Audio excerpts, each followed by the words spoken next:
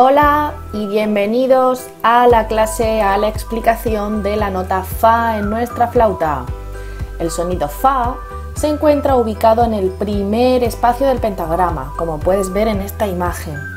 Eh, lo podemos encontrar en forma de negra, en forma de blanca, en forma de corchea, como el resto de notas que conocemos, pero es importante que para identificarla en el pentagrama la busques en el primer espacio. En cuanto a nuestra flauta, la forma de ejecutar, la forma de que salga el sonido Fa en nuestra flauta requiere que usemos las dos manos.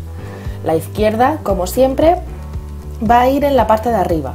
Tapamos el agujero de atrás, bajamos el índice, corazón y anular 1, 2 y 3 y para que suene la nota Fa necesitamos bajar también el primer dedo de la mano derecha, el dedo índice de la mano derecha, que se va a colocar tapando el siguiente agujerito igual que lo estás viendo en la imagen.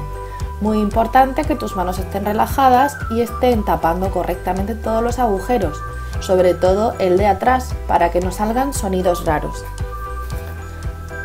Para realizar esta canción eh, es un rap en el que tendremos que emitir el sonido Fa cada vez que se escuche una palabra que contenga esa nota. Eh, más adelante lo podrás comprobar. ¿Preparado? Pues 3, 2, 1, allá vamos. Con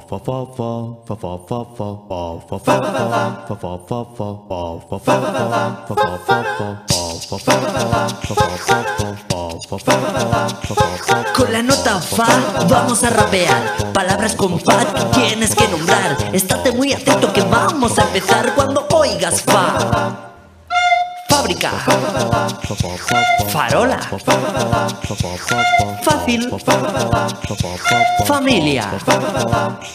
Muy bien lo has hecho, fue fenomenal. Coge tu flauta que tienes que tocar cuando oigas fa.